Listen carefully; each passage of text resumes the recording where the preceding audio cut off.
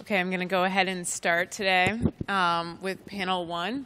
We have Karen Finney here, senior uh, advisor to Hillary Clinton and DNC uh, spokesperson, uh, former, sorry, DNC spokesperson, and uh, Tram uh, Nguyen, who is here from New Florida or New Virginia Majority, and Shally Venugopal from Fight to Win, and Nadeem Mazen, local city councilman. So um, to get us started off today, I'm going to let each person tell you a little bit about their organization and background. And we'll start with uh, Karen. My name's Karen Finney, and I've been working in Democratic politics for a long time. I like to think of myself as an activist, although some of the younger people now say I'm an insider, so that's a little bit disconcerting. Sorry. Uh, I worked on uh, Hillary Clinton's campaign as a senior advisor in the communications operation and a spokesperson. I also um, worked at MSNBC for five years, so sort of know the stuff from both the media side and the party building activist side. Also worked at the DNC as the uh, spokesperson under Howard Dean. Um, and have been very focused on how we rebuild uh, the parties and kind of to something that Rashad was talking about. How do we make sure that what's happening in Washington is more connected to what's actually happening uh, on the ground in, in communities? Uh, good afternoon, everybody. Uh, thank you for having me in this space. My name is Tram Nguyen. I am the co-executive director of New Virginia Majority. I imagine that none of you all are familiar with our organization. So we, we're a state-based organization. We were founded in 2007 um, after, in response in, in the aftermath of the failure of comprehensive immigration reform in 2006. Our founding board of directors and our founding organization we were very involved in that fight for comprehensive immigration reform. We had mobilized and turned out thousands of immigrant activists, leaders, and allies, marched on Washington, were part of the national movement, and we failed. We didn't get comprehensive immigration reform, um, even though we had bipartisan support, and our analysis was that it was in part because immigrants, those of us who are able to vote, were not voting right? And that it wasn't enough to do the movement building and the movement organizing, but we also had to do electoral organizing, and that it has to be both, and there doesn't have to be a choice between one or the other. Um, so that's how New Virginia Majority was founded as an organization that would bridge both the movement organizing and community organizing with the civic engagement work to actually start to build real power for communities of color um, and, and to do that in a meaningful way so that we all have a seat at the table. Thanks, Tram. Um, hi, everyone. I'm Shally Venugopal, and I'm probably the least probable person to be on this panel because I have no career in democratic politics um, or really in a lot of policy and political work, and I'm also not a U.S. citizen. But um, I think what has been interesting for me and perhaps others like me um, is that after this election, um, we have been sort of pushed um, personally into fighting for change. And so, um, in my sort of day job, I work at a technology startup called Myolo, where we're trying to create a common application for mortgages that reaches out to women and folks of color. Um, and in my evening slash weekend slash when I'm nursing my baby job, I'm trying to, with my husband, uh, run a community group called Fight to Win and within Fight to Win um, are a lot of folks who are in the political and the policy sphere, and um, we spend uh, time over dinner, over community service events, and other venues uh, connecting, strategizing, and trying to take action so we are organized amongst ourselves as well. I'm Nadeem Mazen. I'm a city councilor here in Cambridge at large. Um, I'm working on a lot of issues like affordable housing, educational equity, um, economic opportunity and mobility in a city that seems to have so much potential and innovation. We also have 50% of public school kids living at or near the poverty line.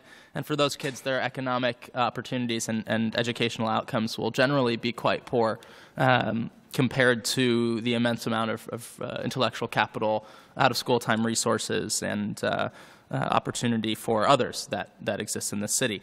Um, so I find that really alarming. One, one of the things I uh, promised to do when I got reelected, I'm in, now in my second two year term, was to start advocacy groups. We had stumbled upon the idea that four or five people can really change an issue on the local level, um, can garner huge amounts of uh, attention, and in a nonpartisan way can pull down low hanging common sense uh, fruit to uh, to establish reform on key issues. Everything from uh, you know we've just gotten now an immigrant liaison uh, into uh, next year's budget, something that should have existed a long time ago, given the num- large number of, of immigrants in this city, and given the the um, legal obstacles many face in a sanctuary city like, like Cambridge over and above our current policy of uh, uh, our sanctuary policy. Um, and I've tried as I go, uh, there's other, a lot of other advocacy groups on issues like publicly financed elections and uh, bike safety or integrated uh, bike lanes. Um, the, uh, the other thing I've been trying to do as I go is, is see if we can create a discussion about a new standard for elected officials. I think on the left, and I have to be kind of sensitive to, to my co panelists when I say this, and I, I, don't know if I'm being controversial. I hope I'm not being too controversial when I say this. I think the Democratic Party has experienced about as abject a failure as would have been possible. If I had stepped back 10 years ago and asked, how hard could we fail? It would look like this on the, on the state level and at the federal level. So I, I think many of the leadership present company excluded, in the Democratic Party are to blame uh, as elected officials largely, and sometimes as elected officials who hold leadership roles in the party. Um, I have a self imposed term limit. I think such a thing is important where there are not term limits so that we can share power and train others. I have a, an organization dedicated to training others.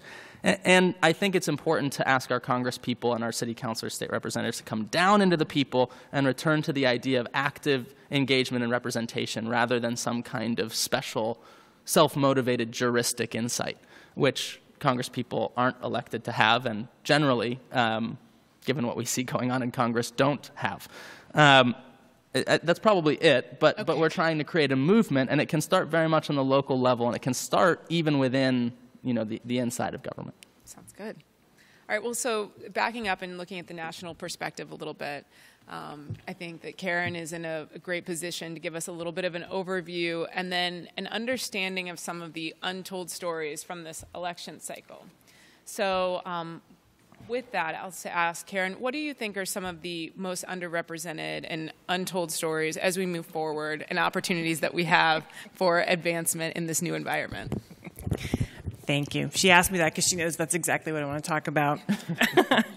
um, I just want to, I think I'm want to put down kind of a, a, a, baseline because I think it's exciting all of the things that people are talking about in terms of activism, and it's incredibly important.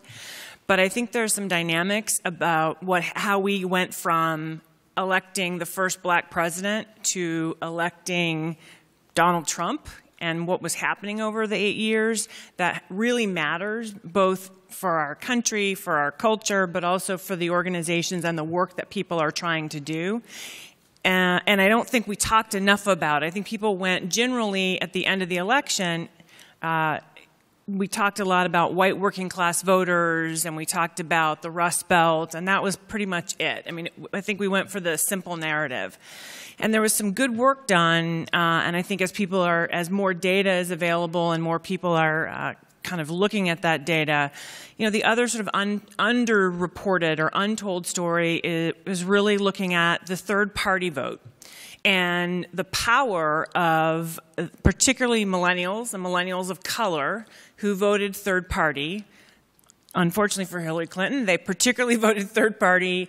Uh, if you look at some key states like Michigan, Pennsylvania, um, Florida, some of those uh, those key Rust Belt states, that actually made the difference. She could have won the presidency if not for just being off by slight margins.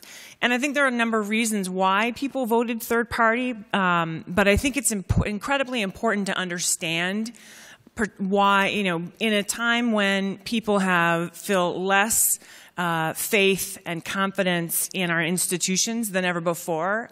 I think you know criticism of the Democratic Party is absolutely fair. Um, I think understanding where that lack of faith comes from I think one of the other dynamics of this election that we saw was that uh, the other side, uh, and they've talked about this very openly, actually manipulated that. I mean, that's what fake news was about, and using Facebook to um, un- further undermine people's faith in their institutions and in, and in the process. So I think this third party vote narrative is really important and understanding that, I mean, it created a, a total disruption of you know the mainstream narrative, which was basically that Hillary was going to win. I think a lot of people just assumed that, um, and so I think a lot of people ended up voting third party as a, a, protest. Think, and I think in some instances it was a protest in the sense of we just want to, you know, break the, you know, break the China. Let's see what Trump can do. I think in other instances people thought that they were, I've talked to people who wanted to send a message to the Democratic Party. Uh, but I think understanding the power of that third party vote and sort of the uh, underpinnings of what people were feeling, and particularly millennials of color, is critical at this juncture because there was a lot of conversation, you know, one of the narratives going in that we've been talking about in politics for the last uh, certainly eight years under Obama is the increase in engagement of, among African Americans and Latinos and the way that President Obama looked to expand the electorate and change the electorate. So there was a lot of conversation about, you know, as the electorate continues to get younger and browner, um, and that white voters uh, are de- declining as a share of the electorate, that this was going to be the election where it all you know, came together, as we saw in, in uh, 08 and 2012. And the question was, uh, you know, take the sort of personal, how you feel about Hillary out of it, but just looking at the numbers, the idea was, okay, can she turn out those voters, um, but also, you know, looking at it from the perspective of the party, young voters, if they vote, uh, if you vote three times in a presidential election in a certain direction, you tend to then, that tends to be the way you vote for the rest of your life. So part of the goal was if you have young voters and they voted in 08 and 2012, if they, Democratic, they would be more likely to vote Democratic in 2016. They would be more likely to be seen uh, to vote Democratic for the rest of their career, uh, as you, if you will, uh, in voting. So again, I think there was this narrative that this was going to be the culmination of, um, you know, the increasing political power and strength of people of color in the electorate, and that's not what we saw. We saw a disruption in that we saw a third-party uh, vote that a, as I say, in a number of places. Uh, Cornell Belcher, who was one of President Obama's uh, pollsters, did some really great work, sort of looking again at some of these key places uh, and how we're talking about two percentage points or less than a, half a percentage point. I think the second dynamic that I just want to lay down because I think it's critically important, um, again, in, in this conversation about this work is, you know, again, there was a lot of conversation about white working class voters, and we didn't talk about the economy enough, um, which I can tell you I felt like we talked about the economy plenty. Um, but a lot of there's some, also some new research that's really looking at uh, whether or not racial resentment was actually more uh, powerful than economic concerns. And by that I mean that people were, there was a real fear of change, a real fear of diversity, and in some instances, in places where people had voted for Obama, even uh, Rep- moderate Republicans or Democrats, who then switched to Trump, trying to understand those people who switched. Uh, some of that, uh, what some of the research is showing now, was around not just racial resentment, but fear of change and fear of diversity. Um, and I think there's a lot more work that needs to be done to understand that. I think the mainstream media has talked about that a lot as, you know, this identity politics, which again, I sort of think of that as, well, these are the things we're the things we're fighting for are not identity politics, they're civil rights issues, you know, $15 minimum wage or the bathroom bill, right? It's about civil rights, it's about uh, shared values. Um, but I think a lot of that has been um, glossed over this conversation again with this focus on white working class voters as being kind of the that the simple answer is that the Democratic Party just that's who we need to reach out to rather than understanding sort of this broader um, trends that were happening in the electorate. And the last thing I'll say, because I think it's incredibly important, is you know one of the studies that, I, that we've looked at suggests that, you know, as this fear of diversity has increased over the eight years of Obama, it's still there. And obviously, Trump did a very good job of uh, catering to that. Um, and speaking to that. And he was willing to, he, he, he's a disruptor. He was willing to say things, and he still does, that nobody else will say. Um, and I think what's important to understand in this time where it's so important, these movements are important, and this activism is important, though those voters are still out there, those, those attitudes are still out there, and he's still speaking to them, which is part of why, from his perspective, uh, you know, they know, he knows, he may be at 35%, but there is an understanding that those voters are still there, and that anxiety is still there. And so we're operating in this environment where, on the one hand, we have among our own voters this, this third party and sort of real rejection uh, of what the Democratic Party was offering. Uh, and then on the other hand, we've got this sort of increase, and it's really a backlash. And I think for some people, eight years of a black president was too much change. Um, and then the idea of a woman on top of that was way too much change. And those dynamics haven't gone away. And if anything, so I sort of view it as we almost maybe had to take a step back to go forward. But I think it's an important underlying dynamic uh, that's sort of we're not really talking about, and we didn't really talk about it as the, as the election um, in the context of all the movement building that we're talking about today. So speaking of going forward, what do you think are the opportunities for rebuilding some of Sorry. What do you think are the opportunities for rebuilding the um, the coalition, the winning coalitions um, that we had under the Obama years? How do we, in this new landscape, bring people together? Um, with we have traditional grassroots groups, we have resistance groups. What do what do we do to move next so that we're all moving in unison? I think it's a lot of what uh, Rashad was talking about, and I, I assume it's a lot of what um, others on the panel are going to talk about. And I think the key to it is really uh, both shared values. I mean, if you look at the Moral Monday movement uh, in North Carolina, part of what they did there was to organize people around shared values. So I might be fighting for $15 minimum wage, and you might be fighting for birth control, and you might be fighting, you know, for the bathrooms. But really, we're fighting for moral values and civil rights and sort of galvan, sort of helping each other fight that fight and using the strength, frankly, of those numbers to fight that fight and making it, I think, less of a left-right issue and again more of a uh, speaking to just our values as Americans um, or just our values uh, as humans. I think that's critical. Uh, and then I think you know, the other piece is having a plan. And I, I, think what Rashad laid out was so important because some of what we've seen is that people will come together and there's this, you know, you and I are both on the board of NARAL, Pro Choice America, and one of the things that we've been looking at is there are these moments where people get angry and they want to do something and we want to give them something to do, but then they kind of go away and waiting for the next moment. And so part of it is also how do we align, how do the groups align to have a longer term strategy where it's not just moment to moment, but it's a real, it's a five year strategy, it's a 10 year strategy, it's not just a we've got to survive Trump strategy. Thank you. Tram, in Virginia, this is something you're seeing at uh, the state level. You have one of the biggest races coming up, um, Virginia governor's race. Uh, what, what is your organization doing, and what do you see in this post election world, uh, uh, what do you do in a cycle like this where voter engagement is predicted to be um, down? How do you how do you address those issues and outreach and try to boost civic engagement in the state?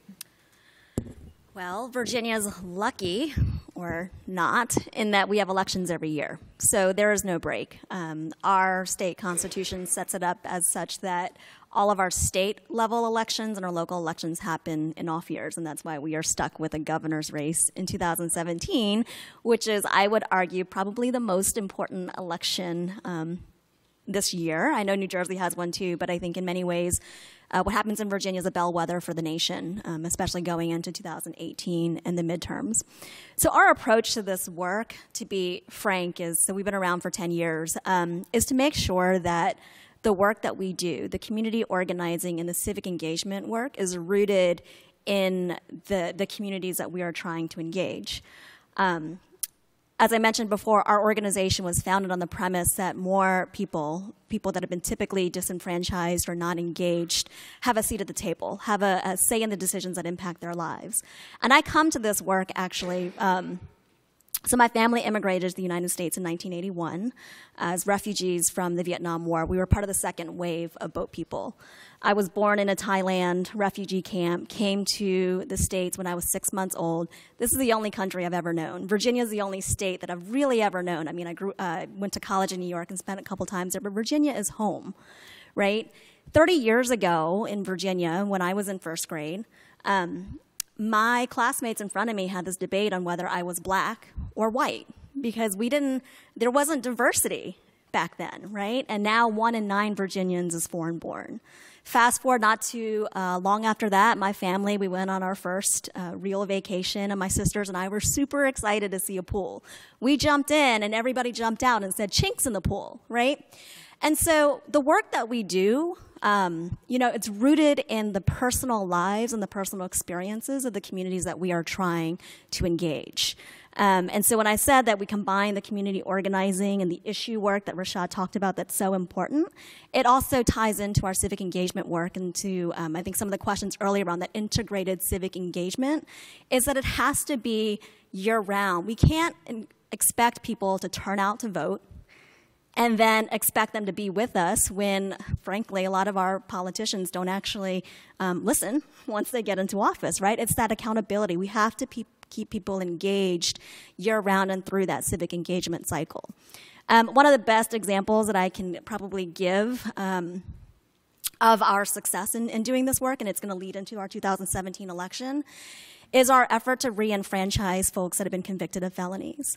Virginia is one of four states in the nation that permanently disenfranchises people if you have been convicted of a felony.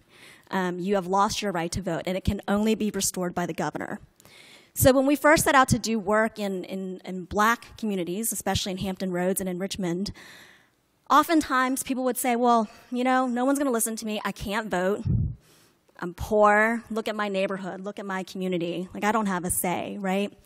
And so it quickly became this issue where it's like we have to give folks an opportunity to, to vote and to have a voice. We started building a coalition with law enforcement communities and the faith community, and it started this eight year campaign essentially to restore the voting rights um, for folks that were convicted of felonies. We made it a campaign issue in 2013 where um, then Terry McAuliffe, as a candidate, took a public position that he would support rights restoration for, for folks. Um, and we held him accountable since day one of his administration.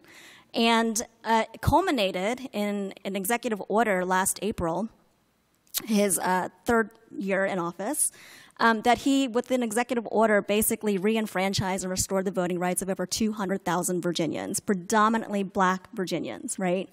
It went through some bumps along the way. He got sued. It went to the Supreme Court and, and all the things. But he still proceeded. He did not let that deter him. So at this point, over 150,000 Virginians have had their rights restored. Of those, about 30,000, it's great. Um, of those 30,000 registered to vote last year for the first time in their lives, 79% of them turned out to vote. That is amazing, right? But that it didn't end there. That executive order and the elections were just tools that we used to continue to civically engage people. So that happened. And then our Republican majority leader in the Senate and the state Senate introduced an amendment this session to basically say, nope, we're not having that. The governor is not going to have the authority to restore people. And not only that, if you were convicted of a violent felony, we're going to take your right to vote away for life. And that was going to be in our state constitution. So by engaging the community and engaging our allies, they showed up. Our allies showed up, and they were rooted.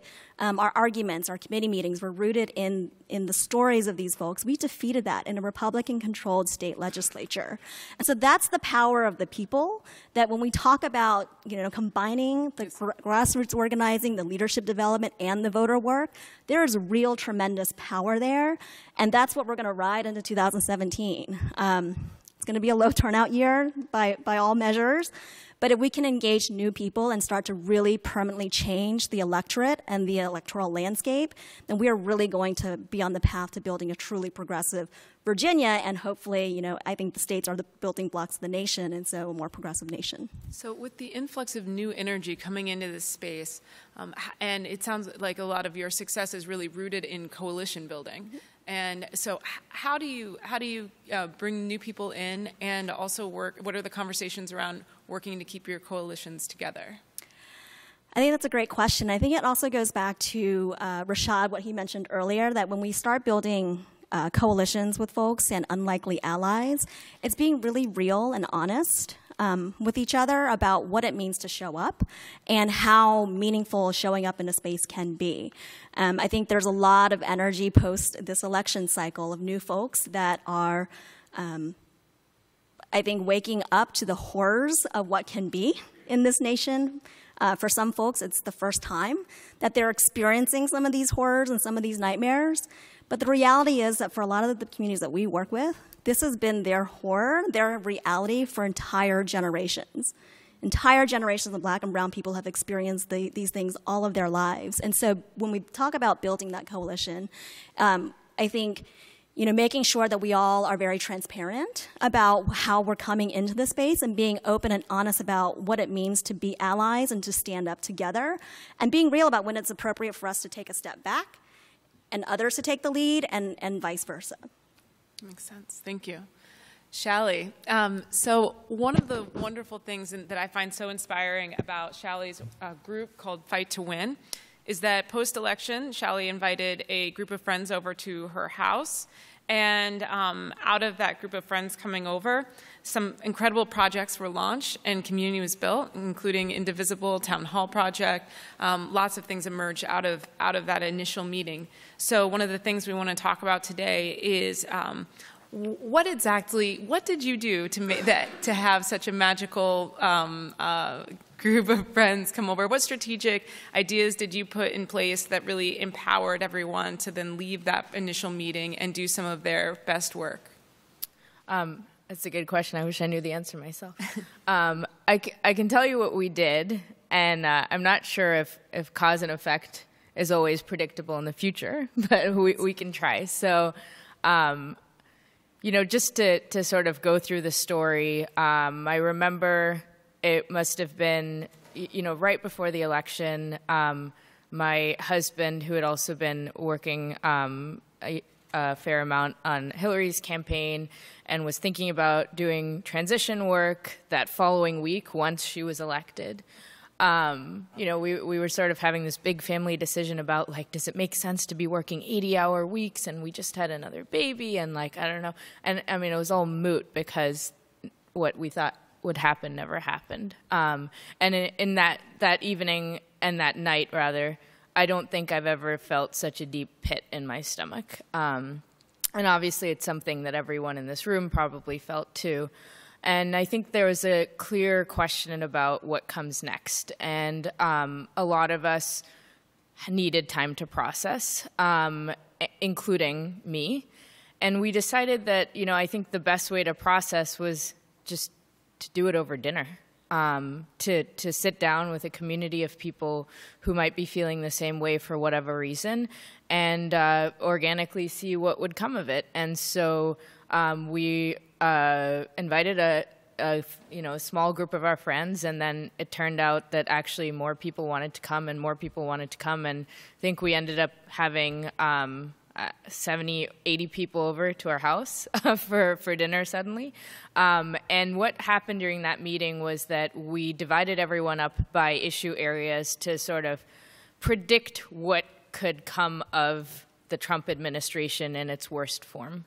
Um, and, and unfortunately, many of these things happen to be true, but it was a good meeting to sort of get into that taking action gear um, and try to not not just be sort of as Rashad said, not just be responsive, but also sort of think ahead of these things might happen and how do we prepare or sort of pivot or stall in um, in the sort of lead up to that.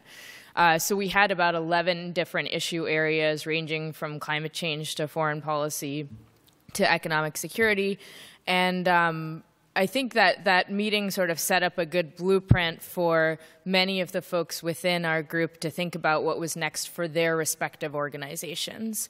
Um, and and I, I think what, at the end of the day, the real sort of secret sauce to it all is building community and doing it in a local way, in a way that we can connect. And a lot of what happens with our group is not necessarily even at our group meetings. A lot of it is just off list conversations, people talking to each other about job openings, people figuring out that, hey, actually, these two organizations can work together, and we never thought about it in this way before.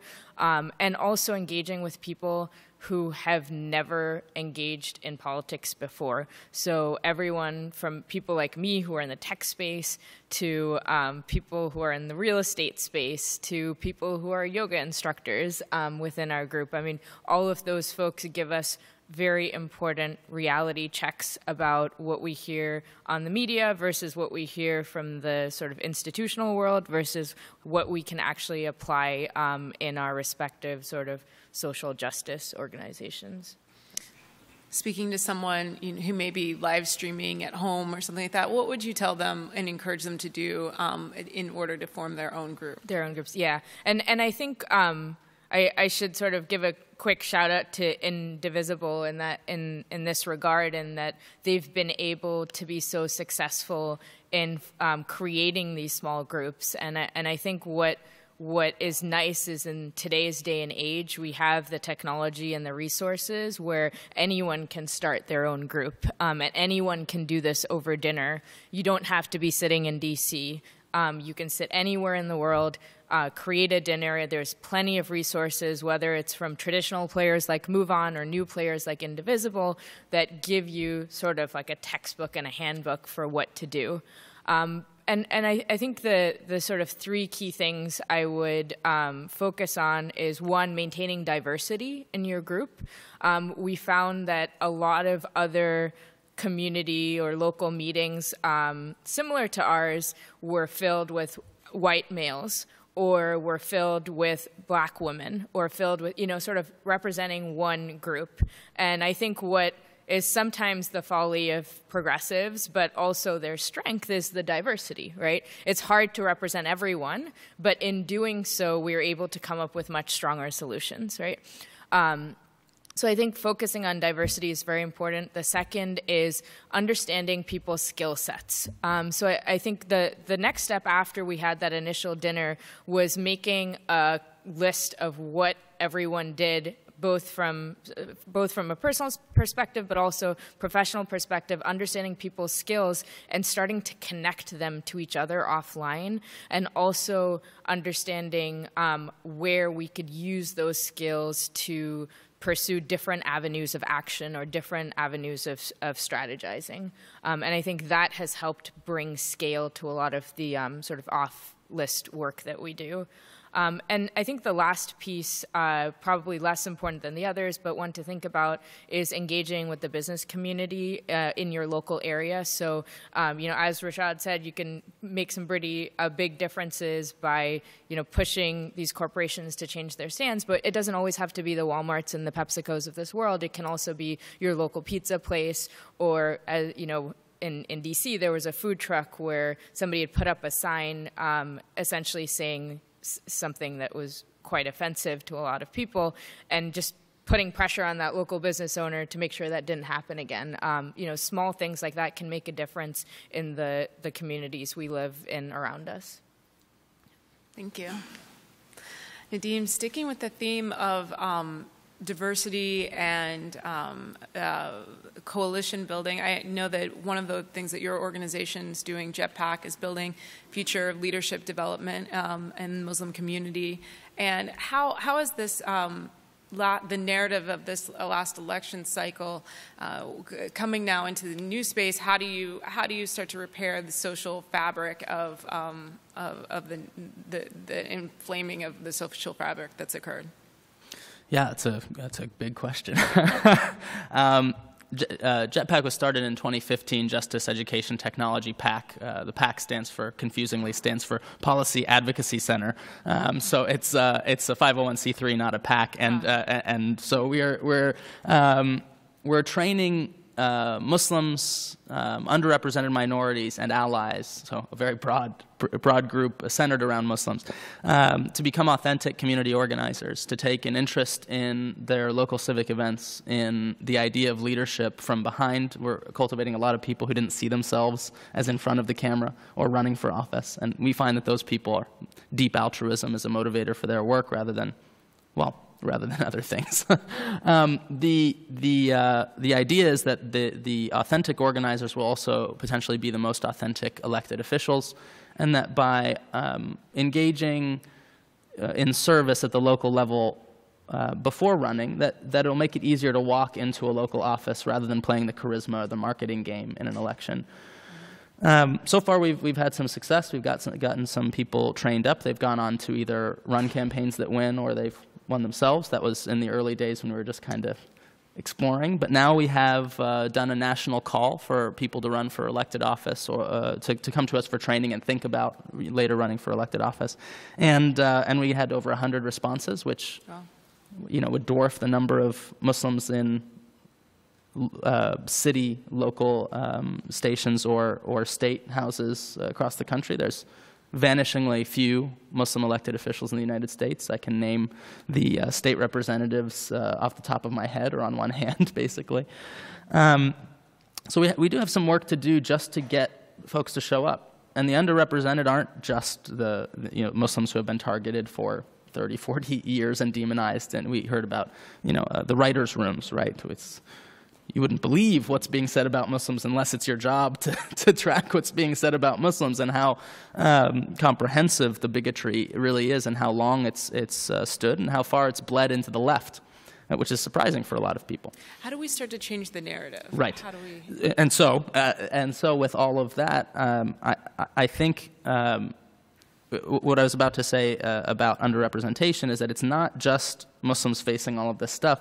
There is an underrepresentation of altruism and service based democratic leadership or service based political leadership um, in our political ecosystem. I think that we have.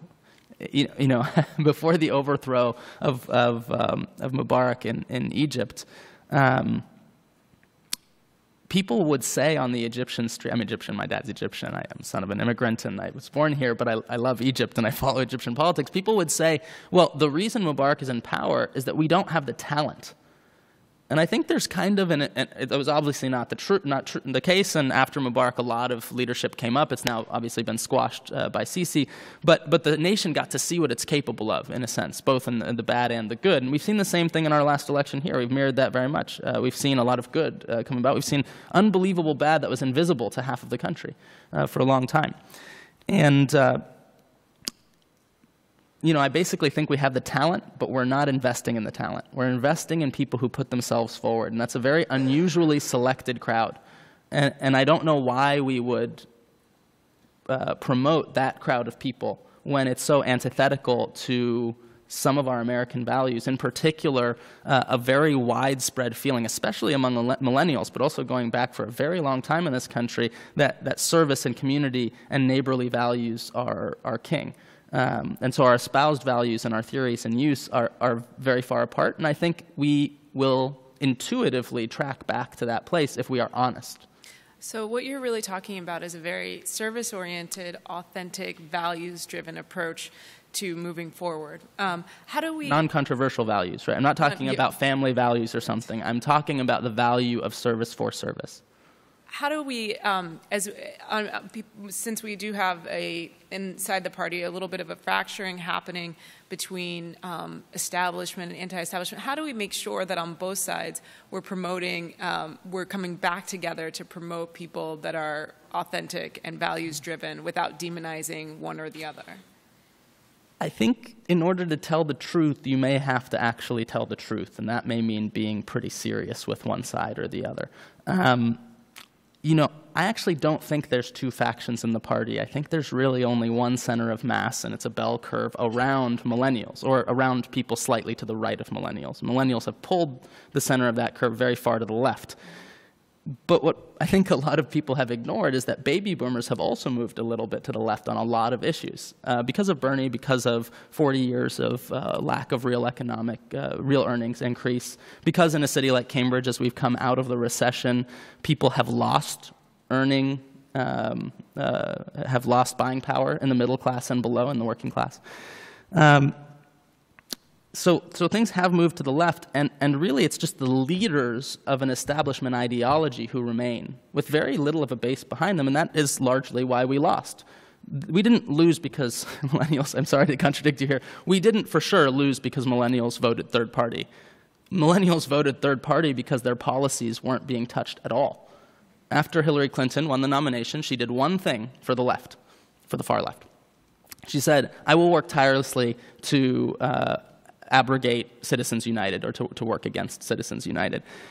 And that's it. And I kind of said, like, this could work. If she just did like three more things, at least she would phone it in well. And she didn't.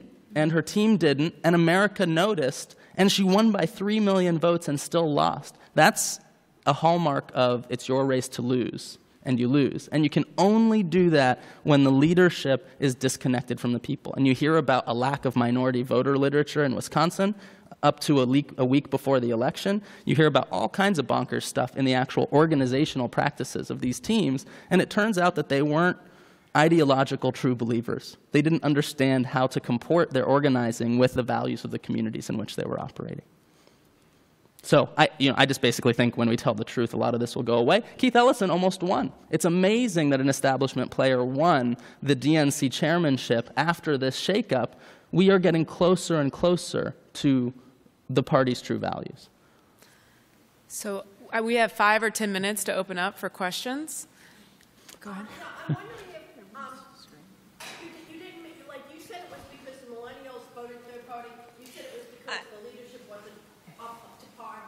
I'm wondering if it wasn't Comey hitting the, the, you know, Clinton investigation, like, right, right before the election, whether that affected people, and also what is the effect of the Russians?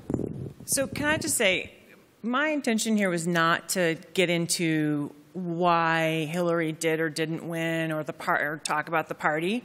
Um, it was, I mean, because again, we've made a thousand mistakes. Pick one, right? I mean, I think there's a whole. It could part of it is Comey, part of it. It was a mistake. If- If Comey But- did this, this wasn't anybody's, Right. it was his fault, but it wasn't anyone in the Democratic Party. But my point, and this is where I think you misunderstood what I was saying, is not to say Hillary Clinton lost because millennials voted third party.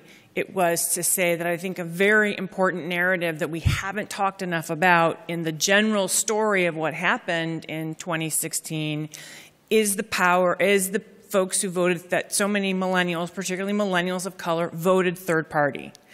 So we are in, given that we are in an era, an era of uh, profound disruption uh, and profound dissatisfaction and lack of faith in our institutions, I think that's a really important thing for us to be looking at as a culture in terms of what does that mean? That means, you know, both not just for the campaign and for the party, but I think that's I think it's important and I think it actually demonstrates a level of political power.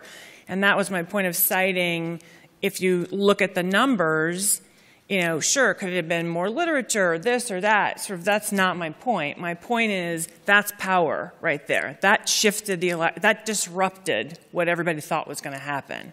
And I think that's an important dynamic. That was really my And if I can uh, ch- chime in on this uh, point as, as well,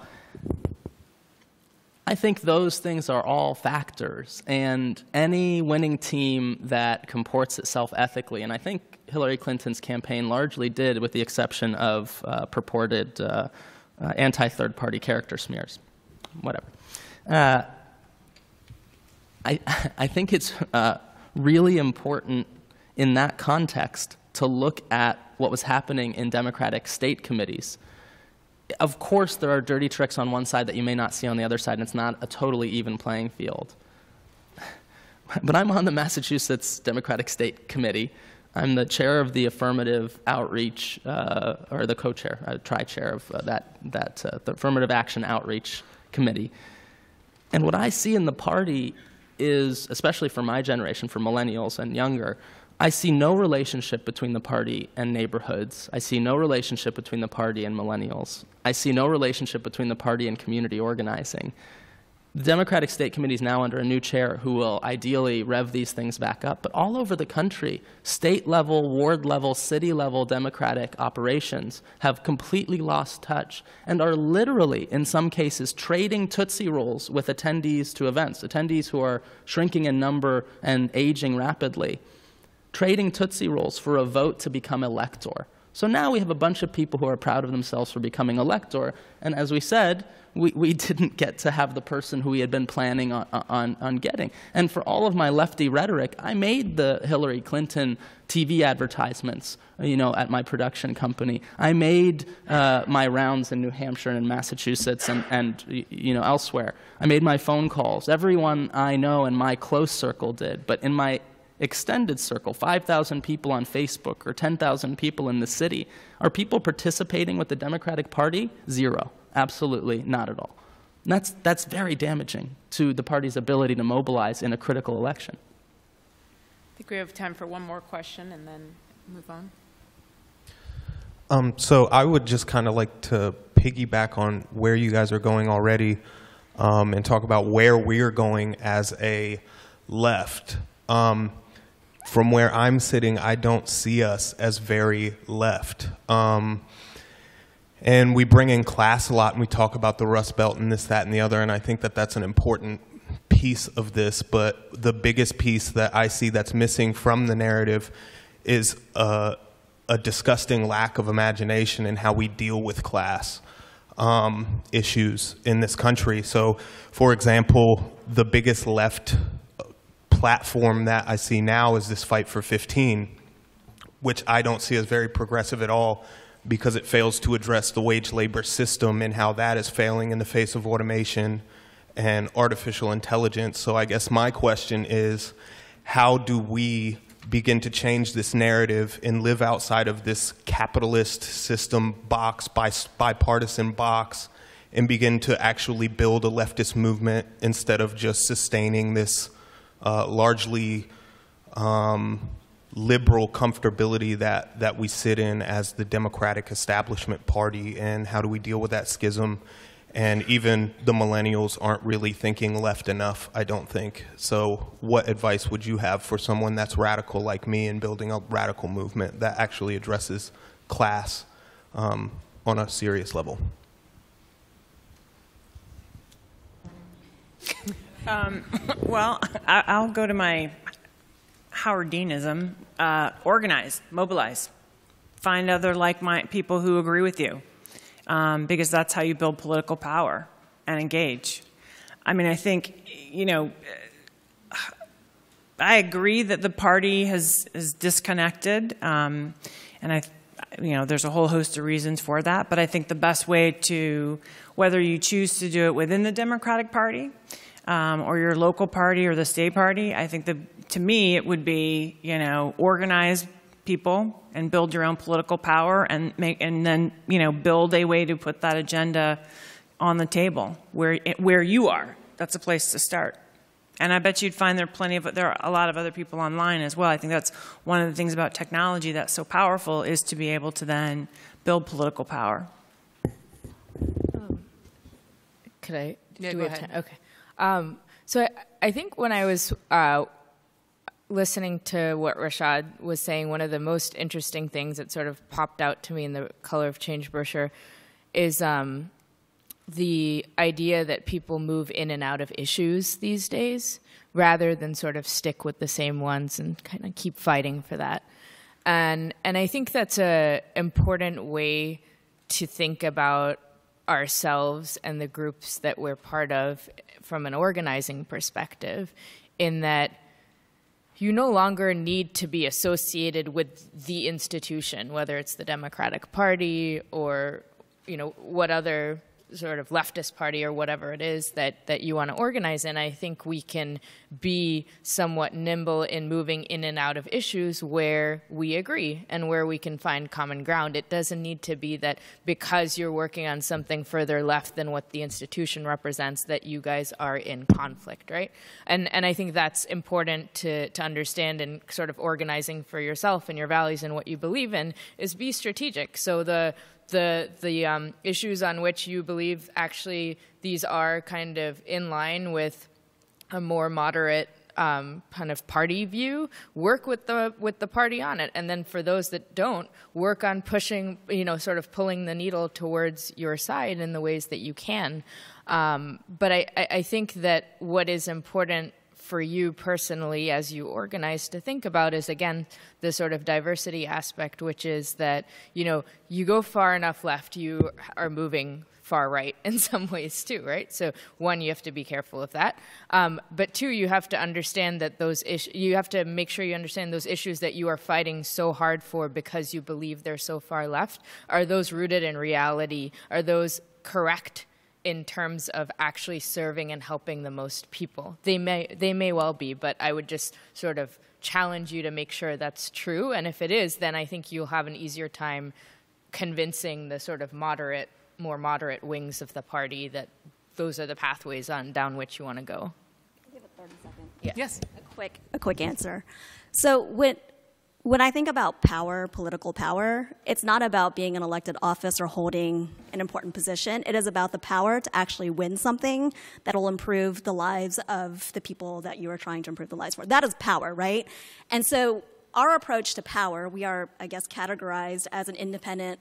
There's this this movement across the country around building independent political power, independent political organizations that aren't tied to either parties, um, that are really trying to push forward a progressive agenda our theory of change and our theory of building political power, you get power um, in three buckets, right? By organizing ideas. What is the vision of the world that you want to see?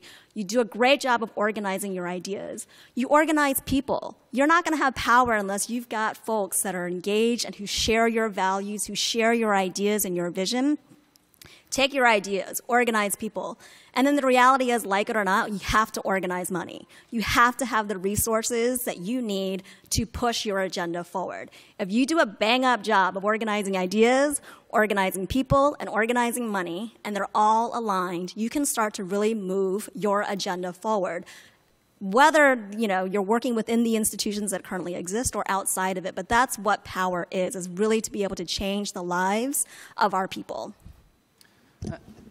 I'd really like to jump in on this if, that, if that's all right. Real quick, go for it. Uh, the fast. I, okay, it might not be that quick, but if you give me two minutes or three, this is an important issue, especially with the automation comment and the creativity comment. Uh, I think if I'm reading you right, you're not necessarily talking about far left values that would be ultra controversial every time. You are talking about taking care of the most people, especially with automation. You're talking about creativity, which is non controversial. And I think with original thought, it can be huge. I, the other day, I talked to a prominent senator. This was before um, uh, Trump was elected, and I said, when, we win the presidency, if we win the presidency, um, can we talk about a, a major housing package? Uh, ur- there's a huge need for urban housing, and, and, and, and the person basically said, since Barney Frank left the Congress, no one has been thinking creatively on this issue. And, I'm, I, and, I, and she was chilled by the data I was delivering from Cambridge, San Francisco, Chicago, DC, and, and elsewhere. On automation, you, find in most ideas of regulating commerce, you find that the special interests say that they're operating on paper thin margins and you're hurting the whole economy by regulating. But we know that with automation, A, that's not going to work, uh, uh, whether you agree with the special interests or not. When you look at their pro formas, uh, you find that you're not getting the most out of the, out of the corporations, nor is the economy in general. We're not taxing properly, we're not regulating properly. For automation, you could, you could easily just tax automation cycles. Computers conduct trillions of calculations per second. You tax it at a fraction, very tiny fraction of a cent, and you're racking up money at incredible speed. And at the same time, the car manufacturing robot is making Toyota huge multiples of that tiny tax fraction. And you're not if this is controversial, going to invest that just in giving someone a salary and letting them loaf around if that's the objection of the right or of, of libertarians or of anyone. You're investing in infrastructure, you're investing in training, you're investing in small business, you're investing in grants and, uh, and in culture. And these things are now missing. And this would be a wonderful source of income that people on both sides, I think, would be very much for. Where's the creative and original thought on that? I think you have to show up and, and actually lead, and people will say, that's a, that's a very interesting idea. And that, that idea itself is not in the conversation on so many different issues. Thank you. So I want to thank all the panelists on panel one for coming today. Some people traveled far distances to be here and had late, late night flights, and so we really appreciate um, all of the effort you put into uh, our discussion today. I think that, yes, let's give our panelists a round of applause. I think what we've heard here is community based, values driven, creative, innovative spirit uh, uh, is needed moving forward in the field of civic engagement. And I think we have the leaders here to do that. So thank you.